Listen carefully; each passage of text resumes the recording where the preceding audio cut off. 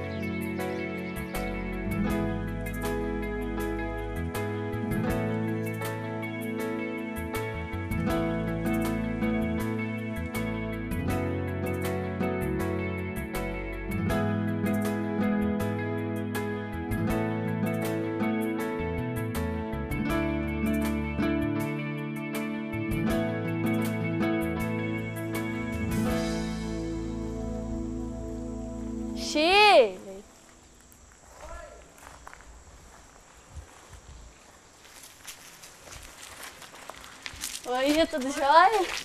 Tudo bom? Já prendeu a fera? Hã? Já ah, prendeu? já tá presa já, não tem perigo não. Então tá jóia. Tudo bom? Tudo bom? Vamos entrar. Licença. Obrigada. Tá. Licença. Também. Licença. Tudo jóia, Tudo jóia, sei lá. Tudo bem, graças a É? Deus. E a Cananda? Tá Tá bem escola? também, tá pra escola. Ela melhorou das Melhorou, melhorou sim. Você levou ela no serinho? Levei, agora marcou pra quinta-feira de novo. Quinta-feira ela fez Marcou. exames? Ele não pediu também. Não? Não, ela tava tomando antibiótico, né? Tá, mas Aí ela já melhorou. Já melhorou já, graças a Deus. Nossa. Ah, Vim fazer uma visitinha, ver se tá precisando de alguma coisa hoje. Hoje eu não, tá mesmo, precisando não. É mais o raio-x O mesmo, né? É, eu vim trazer ela. É? Ah, você conseguiu marcar? É. Consegui. Aí eu marquei pra semana do dia 8, que é a semana que ele tá de folga, né? Que ele Isso, pode à tarde. é mesmo, né? Que bom. Deixa eu pegar aqui. Aí queria ver com você o negócio do, do, do preventivo, se, se- depois você já marca pra mim. Marco, marco Ah, sim. então tá bom. Ah, o, pra mostrar o resultado, É, né? pra mostrar Aham. o resultado. Na hora que o resultado preventivo chegar, eu já trago com a data da consulta. É? você Ai, que mostrar. bom. Tá joia? Uhum, que joia. Tá bom. Obrigada. Obrigada a você, viu? Valeu mesmo. Tchau. Você também. Até a metade do século passado, as pessoas morriam mais de doenças infecciosas e causas maternas e perinatais. Hoje, né, as mortes por doenças infecciosas não são 4% das mortes, mas já 72% das mortes no Brasil são por doenças crônicas. que mata hoje já não é doença infecciosa, o que mata hoje é câncer, doença cardiovascular, diabetes, etc. Então a gente não se deu conta né, de que o sistema para atender doença infecciosa é diferente de um sistema para atender doenças crônicas. Até que, em 1993, se opta por adotar no Brasil uma política de atenção primária singular chamada PSF, Programa de Saúde da Família. Então, até então, era o Programa de Agentes Comunitários de Saúde. Fica à vontade. Ai, joia. Tudo bom? Graças a Deus. E você, tá bom? Melhor Bem, agora que você chegou. E aí, como que anda as coisas? Graças a Deus. Tudo Tá bem. tudo certo? Graças a Deus, tudo certo. E a pressão, como que tá? Ah, esses dias tá- tava um pouco meio alta. Tava alta? Não, mas Mas o remédio você tá tomando tô certinho? tomando remédio certinho, mas de vez em quando ela dá mesmo É? uma subida. É. E, e o diabetes? O diabetes faz eu não beijo? É? É. Dá uma passadinha lá no PSF em jejum pra você ver como Eu, que vou, tá. eu vou então. Não pode ficar sem tomar o remédio, não. A gente tem que dar um puxão de orelha nesse pessoal de vez em quando, né, Fátima? É isso aí. Mas de vez em quando esquece também de tomar, né, Fátima? Ah, não E eu pode esqueço, esquecer, não. Eu não esqueço. Não de pode nenhum. esquecer, não. Tá joia? Tchau, gente. Tchau. Amém. Eu falo, PSF, a- o carro-chave dele é o, agente comunitário. Porque o agente comunitário, ele bate na porta, ele traz para a gente os problemas que os pacientes estão, né, de de um agendamento, de um exame, do jeito que está uma casa, se precisa só do enfermeiro e do médico, ou se ele precisa de uma assistente social, ou de um outro tipo de profissional, um psicólogo ali. Então, eu falo que a menina dos olhos do PSF acaba que são os agentes comunitários. Mais ou menos no ano de 1992, alguma experiência, especialmente a de Quixadá, eles agregam o médico e a enfermeira ao agente comunitário, que é o que a gente se denomina na literatura internacional um programa de atenção primária seletiva, ou seja, um texto de medicina simplificada. Né? Você agrega outros profissionais e cria a proposta do PSF.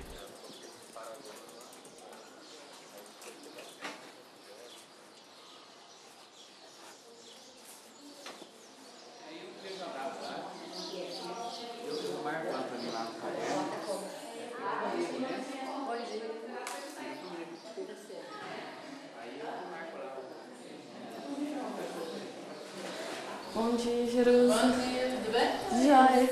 Depois a gente as visitas que a gente vai fazer hoje cedo. E a injeção também, né? Isso. Tá joia. A Sônia me ligou umas 8 horas, ela manda o carro. Tudo bem? Tá bom? Tá joia. Tamis, Oi. tá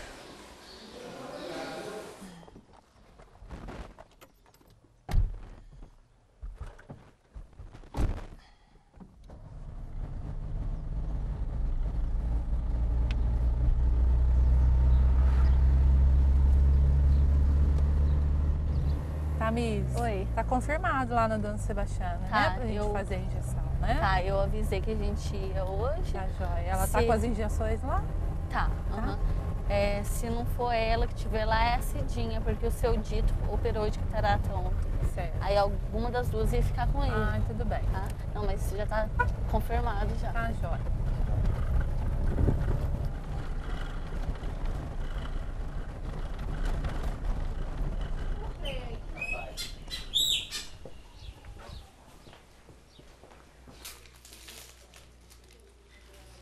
É a última injeção deles, né, Dona Sebastiana?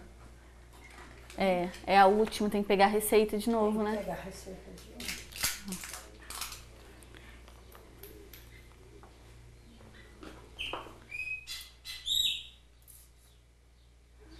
Quem vai tomar primeiro? Pode ser. Pode chegar aqui. Tudo bem?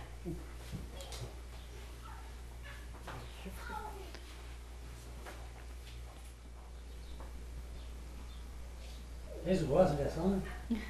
É. Eu Eu gosto de também. Eu não, prefiro comprimido. Ah, Tenho medo de injeção. vai mesmo.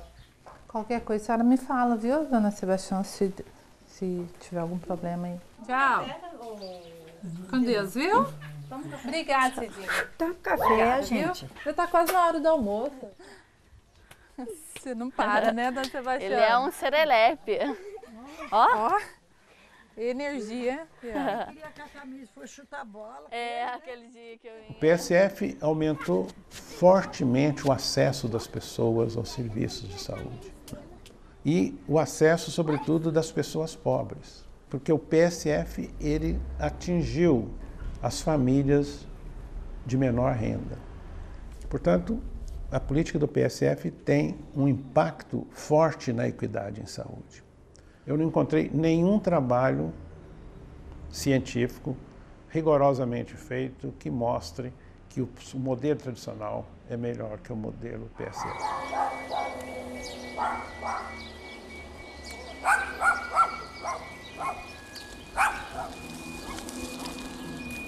Bom dia. Bem?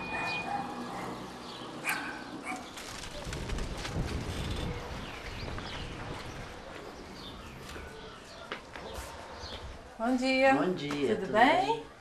Dá licença. Dona Júlia tá no quarto? Tá. Com licença.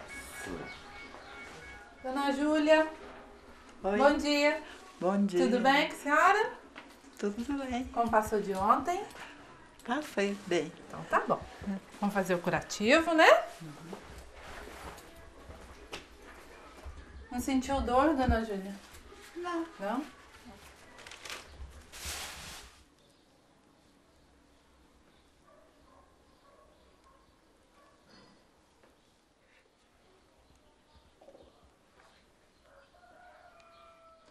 Já tá bem melhor, né, dona Júlia? Nossa.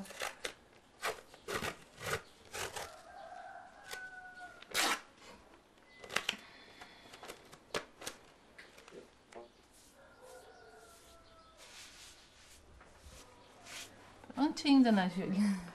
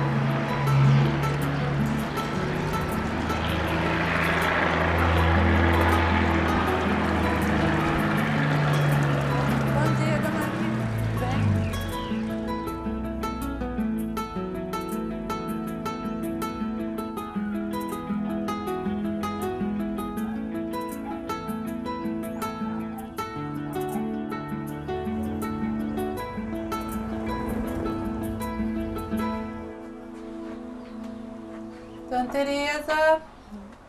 Bom dia. Bom dia. Tudo bem com a senhora? Tudo bem, graças a Deus. E ontem doeu muito, Dona Tereza? Não, bem. Não? Não sentiu dor? Não. Não? Então tá bom. Isso aqui é uma cirurgia que ela fez, né, de hérnia. Assim, quando tá tudo bem, nem é necessário, assim, um curativo, né? A pessoa mesma pode fazer em casa, assim. Se tiver, mas o dela tá um pouquinho inflamado, né? Tá vermelho, tá vazando também, não é uma secreção.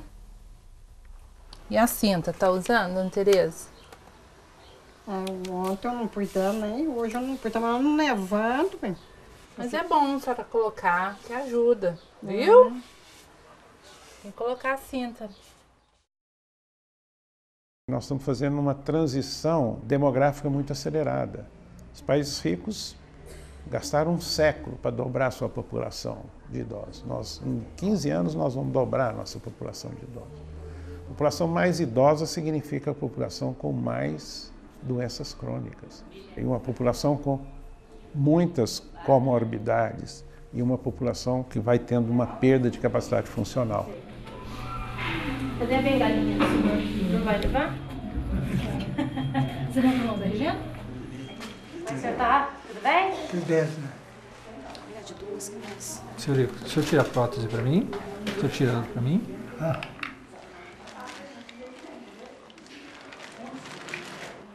Levanta bem a cabeça para mim, senhor.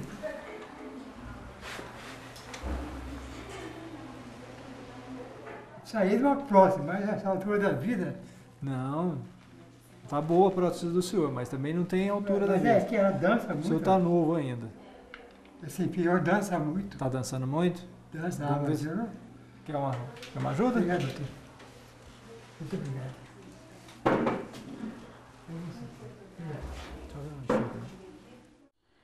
Isso aqui, dois, três, quatro, cinco, seis, sete, oito, dez. Eu tomo, na verdade, quatro comprimidos em jejum, que é o Vasogast, é, hidroclorotiazida, enalapril e etanolol. Na hora do almoço, eu tomo é, AS e o. Cadê ele, meu Deus? Tá aqui. Metmorfina. E à noite, simvastatina e o é. Além do paracetamol. Esse aqui eu sei que é para os rins, que eu tomo diariamente para não dar infecção nos rins. Este e esses aqui, eu sei que é para controlar a pressão, né? Esse aqui também. Esse aqui também é para pressão. Esse AS a gente toma aqui é para não deixar dar derrame. Esse aqui é para o coração. Esse e esse aqui é para o coração. Esses dois. Esse aqui já, essa aqui é a mesma dessa, né? Esse aqui é para o colesterol. Só 28 por dia. É muita coisa. Então, isso tudo aqui a gente pega pelo SUS, através do Centro de Saúde Jardim Guanabara. O Vasogard, por exemplo, que é um medicamento para circulação, a secretaria não fornece. Então a gente tem que comprar. Para quem é aposentado, então não é muito barato não, é um pouquinho meio complicado isso. Uma atenção primária de saúde, ela não é valorizada por grandes interesses. A indústria farmacêutica não tem grande interesse na atenção primária de saúde, porque aí não, não é aí que se consome os medicamentos de mais alto custo. A indústria biomédica também não tem muito interesse, porque aí é se utilizam tecnologias mais cognitivas, menos intensivas em densidade né, tecnológica. Os grandes especialistas também não têm interesse na atenção primária à saúde. É certo? Os políticos e os gestores estão pouco, porque eles preferem inaugurar um hospital, uma UPA, do que inaugurar uma, uma unidade de atenção primária à saúde. Né? E a própria população, porque tem esse modelo biomédico do que o importante é ter o hospital, é chegar ao hospital, é fazer a cirurgia, é, é chegar ao especialista rapidamente, né?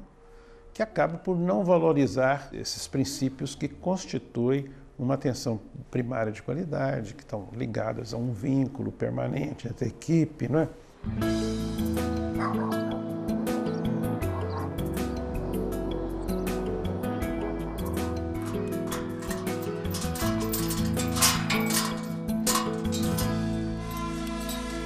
Essa área aqui é uma área de 16.050 metros, pertencente à Associação dos Moradores do bairro de Guanabara. Houve necessidade da gente plantar alguma coisa para a comunidade, porque estava bem obsoleto, o terreno vazio, então estava sendo palco de cobiça. E aqui quase não tinha nada, não. não tinha asfalto na rua, não tinha, não tinha água encanada, a água era de cisterna. Depois é que aí começou a desenvolver o bairro, né? Aí foi melhorando. Hoje, graças a Deus, o nosso bairro aí tem de tudo, né? Através do orçamento participativo, nós implantamos o centro de saúde, que hoje, graças a Deus, ele funcionava numa casa alugada pela prefeitura, né? Então, a associação, através de seus diretores e a comunidade, nós conseguimos ganhar essa obra no orçamento participativo, que ela foi inaugurada dia 12 de maio de 2005. Tá? Para a época, Ela tá muito bom, tá, mas hoje ela se torna um pouco também pequena. Para marcar uma consulta, e muitas vezes a gente dormia na fila e depois, às vezes, quando amanhecia o dia, às vezes já não conseguia mais ficha. Pegou até no outro dia. Depois foi surgindo, o, surgiu os postos de saúde, né? No princípio a gente comprava o remédio, porque passava no médico, mas não tinha as farmácias populares. Então a gente, o trabalho da gente era para manter a casa e comprar remédio. Ô Cléris. Oi, seu Paulo. Como é que vai? Tudo bom? Vai. Tranquilo? Tudo bem? Boa tarde. Como é que tá Tranquilo? funcionando hoje aí? Tudo tranquilo? Hoje de manhã estava lotado, agora à tarde já esvaziou um pouquinho.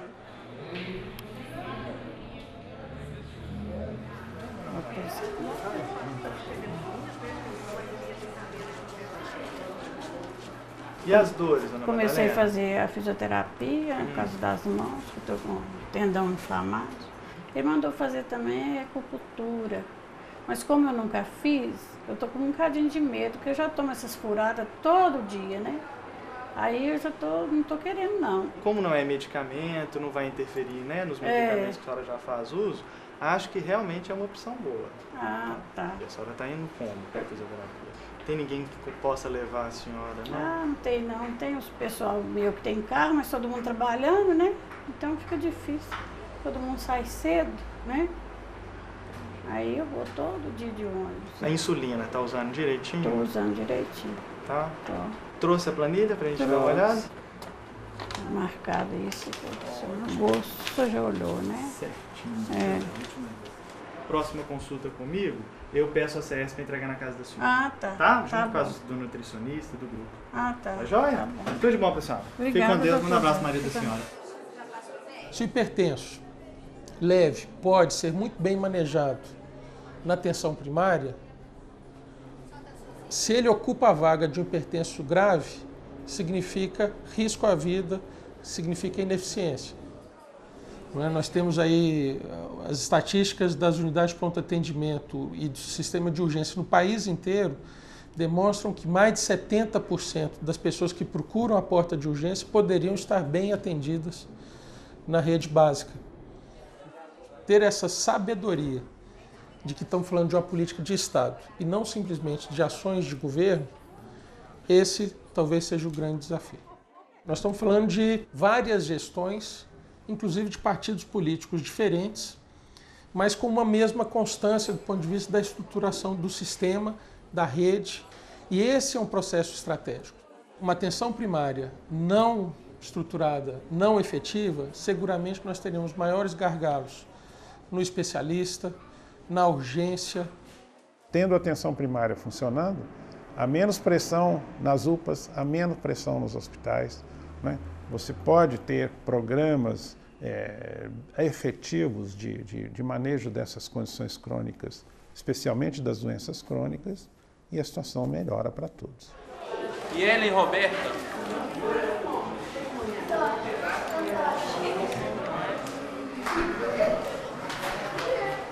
Agora é encostado. Aí já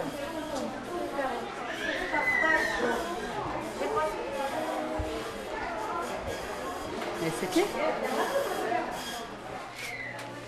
Oi, tudo bem, doutora? E aí, Ellen, o que você veio hoje? Então, doutora, é, eu tô tendo umas crises de, de tremores toda vez que eu tô ficando nervosa. E nesses três últimos dias agora, eu tô tendo muita tonteira. Então, tá me preocupando um pouquinho essa questão. Me traz aqui por causa que o meu negócio não foi embora até hoje, chegou dia 20 e tá incomodando demais e tá dando muita dor de cólica. E quando eu teve a minha menina também deu problema em mim, porque eles deixaram o resto da placenta dentro de mim, que eu ganhei lá no Sofia. Eu, ela tá marcada para ganhar 10 e meia da manhã, foi nascer era meio-dia e 28. Aí hoje eu tô com esse negócio até hoje menstruada e não foi embora. Aí tá incomodando e eu tô sentindo muita dor. Piorou, melhorou, tá a mesma coisa? Como é que tá? Não, não, melhorou. Melhorou? Graças a Deus, é. doido. Achou aquele antibiótico bom, né? É. Deu diarreia no senhor ou não? Diarreia? Tem alguém na sua família que é diabético? Ah, que eu saiba, não tem caso nenhum. Não? Não. Você fuma, bebe? Tô parando de fumar. Bebe? Bebia. Bebi, agora não. Não. De vez em quando que eu bebo, sim. Tá, bebo uma cerveja, mas de vez em quando. Só de vez em quando. Qual que foi a última vez que o senhor usou hoje? Esse aqui. Ah, mais ou menos, acho que é 5 e meia. 5 da manhã, 5 e meia da manhã? Então já, a gente já pode fazer outro. Me mostra como que o senhor faz.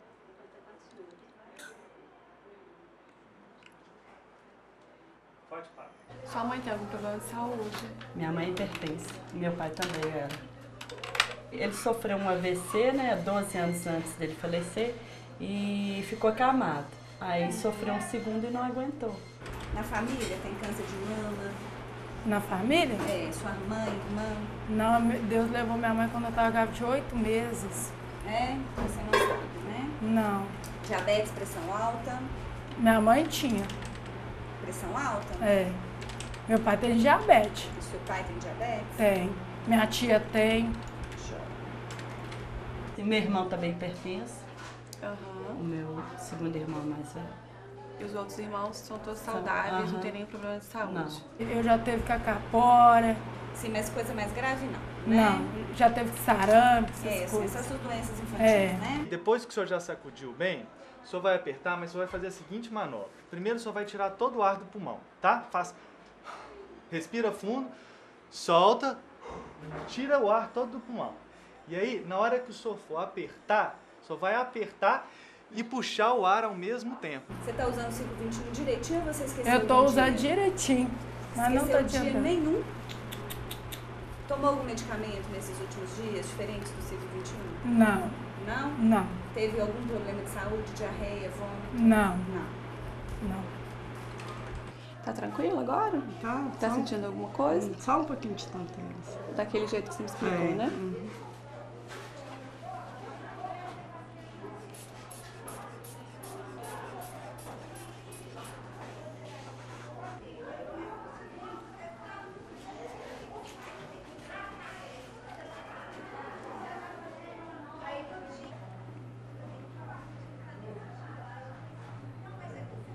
O útero contrai para a menstruação sair, tá? Isso leva a cólica. E a tá bom? cólica? Aí eu vou te deixar um remedinho também para cólica. No dia que sangrar a primeira vez, você já pode tomar, tá bom? Tá. Esse exame você vai marcar lá agora, tá bom? Elas vão te dar o dia, o horário que você tem que fazer.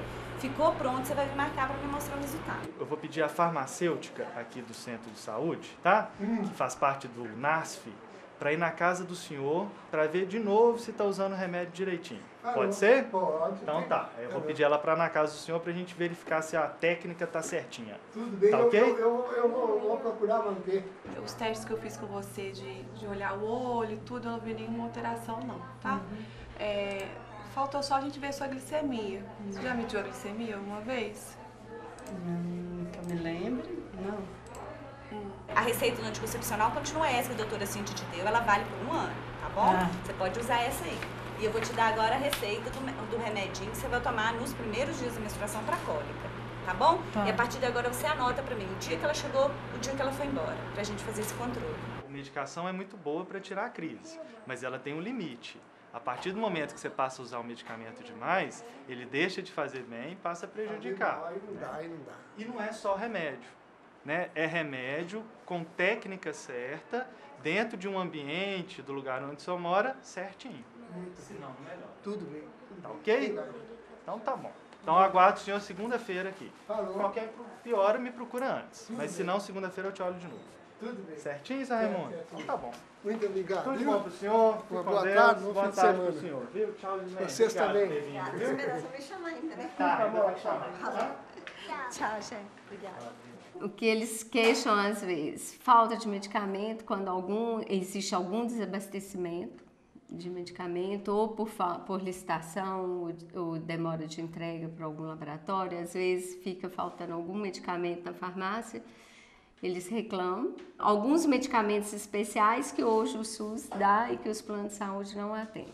Então ele acaba utilizando, ele faz o cadastro na rede SUS porque ele sabe que tem medicamentos que tem exames que ele vai conseguir só na rede do SUS, né?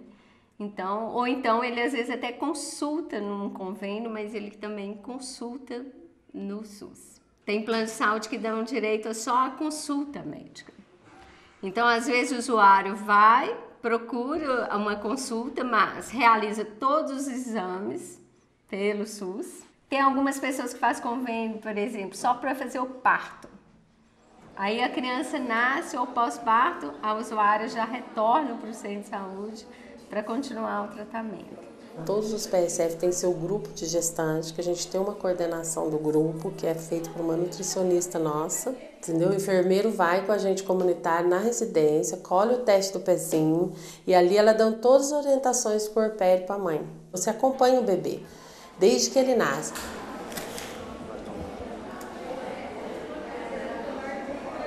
Tudo bem? Senta aí. Tá na reta final, né? E você, tá se sentindo bem? Eu tô. Tá tudo certo? Tá? Pelas Certinho. contas, fiz nove meses hoje, dia 26. Eu vou ter que tomar a gravidez inteira na AS, fala com a sua. Uhum. Tem algum exame que você fez Eu por vou esses mostrar, dias? É, ultrassom. Ultrassom? Pra que, que é esse remédio? Ela falou? Ela falou alguma coisa pra poder melhorar o sangue, Ah, assim. circulação de sangue. É, Tá eu tenho que acompanhar. 36 semanas, 4 dias. 9 meses? Nove, né? Tava sentindo alguma coisa, Ela falou, ela sangramento? falou pra gente poder esperar até dar os dois meses. Né, por causa de eu ter perdido, ela falou, vou ficar esses 15 dias em casa só pra gente poder acompanhar. Aí eu fiz outros exames de sangue. Ah, mas agora já saiu do repouso? Já? Agora já. Você vai ser normal ou cesárea? Normal. Normal. Então, a qualquer momento, o Lucas vai nascer. Prontinho. Agora você vai passar na nutricionista, tá? Você não vai embora, não.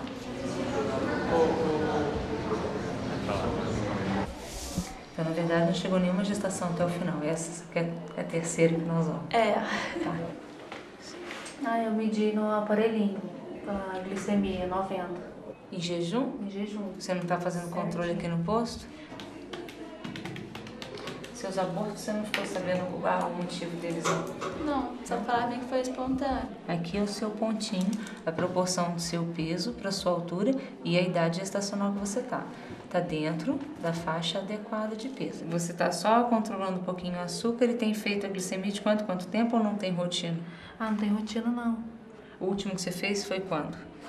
Foi segunda-feira. Entre essas duas linhas vermelhinhas aqui é a, a zona A, que é peso adequado para a idade gestacional. Então, peso a gente não tem problema. Maneira no açúcar o máximo que você conseguir pra gente não chegar nesse ponto aqui não, tá?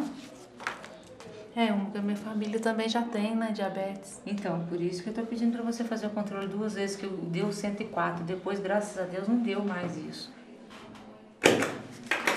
Certinho? Aí, obrigada. Vai com Deus. Tchau, tchau. Agora você vem com o neném no colo. tá jóia?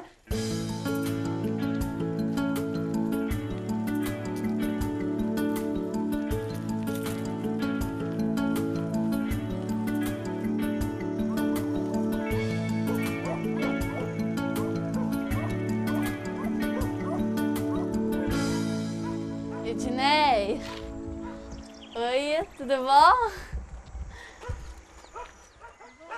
A gente esteve aqui ontem fazendo o teste do pezinho. Eu esqueci de deixar a data da pré-consulta com você. Terça-feira que vem, dia 2. Dois neném. É, dois. Os netos da gente é como se fosse filho. Filha, Nossa. Nossa, eu amo minhas netas. Então a pessoa é vinculada a um médico generalista e esse médico é que coordena a sua atenção. Se precisa um especialista, ele, ele refere, se precisa do hospital, ele é que pede a internação da pessoa. O, o clínico geral, Para algumas categorias, eh, o mercado é bom, né? Agora, para a área médica, ainda tem uma, um salário a, abaixo para algumas outras especialidades, o que dificulta a lotação, às vezes, do profissional na rede pública. A formação do médico generalista, médico de família, é, ainda é um desafio. Várias escolas caminham na revisão dos seus currículos. Qual a especialidade que cada um pretende seguir depois que formar? Ortopedia, medicina do esporte, muito relacionado a isso. Uhum. Então, eu penso em dermato. Uhum. Ah, na verdade, eu queria duas. Eu queria medicina da família e alguma coisa vira, é, relacionada com cirurgia. Eu queria fazer duas coisas. Penso em pediatria e clínica médica. Penso em endocrinologia ou cirurgia plástica. Uhum. Eu penso em oncologia. Eu ainda não sei também o que eu quero. Antes de conhecer, vir no posto, ver a parte de medicina de família, eu nem imaginava, assim, sabe, como uma opção. E hoje eu acho interessante, acho, sabe, conheci muito, acho, gosto muito dessa questão de poder ter um cuidado prolongado, de conhecer, é, né, tudo do paciente, não só aquilo ali específico. Existe uma carência no mercado, né? existe uma necessidade cada vez maior de profissionais voltados para a atenção primária. É o que tende a crescer, todo é, o investimento tem sido feito na atenção primária, não é à toa.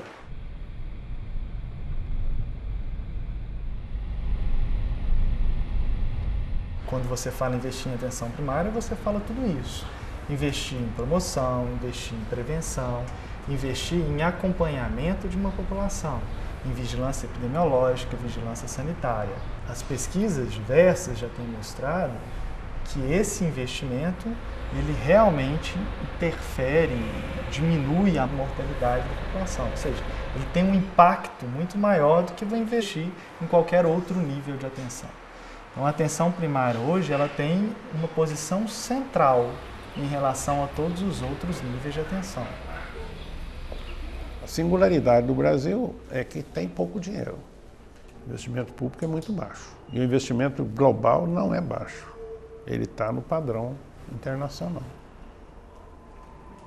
Agora, se os brasileiros vão querer um sistema público, é outra história. Dessa nova classe C, eles sonham em ter um plano privado que é uma porcaria, a maioria é uma porcaria. Se o PSF for fazer o verdadeiro papel dele, a gente não ficaria no curativo, a gente ficaria de prevenção e promoção direto, que é um sonho. Falo para a Aline que o dia que a gente conseguir fazer isso vai ser uma beleza. Lógico que vai ter o um atendimento, vai ter o um atendimento mas não deixar as pessoas adoecerem, né? Cortar antes. E isso a gente ainda não consegue muito, até eu acho até porque é também por causa da população, né? Você tem que mostrar para a população isso, né? Que, que é necessário, que educação e saúde é tudo. Você fazer educação e saúde, você vai evitar um monte de, de agravos aí, né? Que é a palavra-chave, eu acho. Você tem que trabalhar na atenção básica, educação e saúde. Numa situação de saúde como era na metade do século passado, no Brasil, a gente podia enfrentar isso com o acesso a unidades de pronto atendimento. Hoje, nós temos 20% da população adulta tem hipertensão. 8 a 10% da população adulta tem diabetes. Um mundo de gente. A diferença que faz é quem opta por ter uma atenção primária é, extensiva e de melhor qualidade. Quem fizer isso vai ter bons resultados. Quem não faz isso vai ficar enxugando gelo, gastando muito dinheiro, população insatisfeita.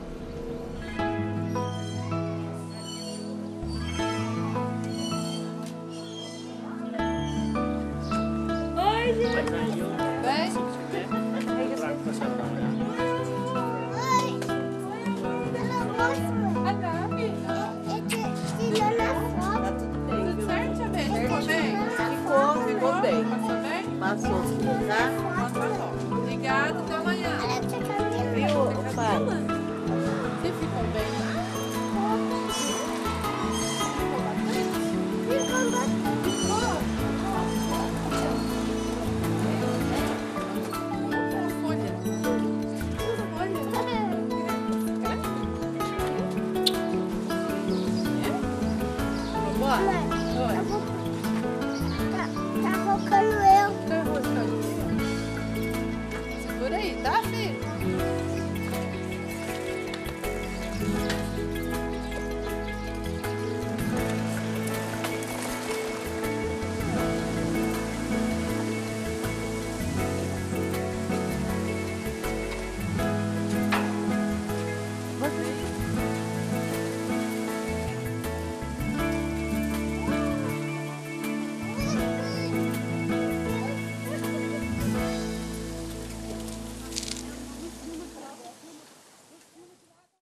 Para saber mais sobre as políticas públicas da rede de atenção básica, acesse o site do Ministério da Saúde em www.saude.gov.br. Tchau, a gente se vê no próximo documentação.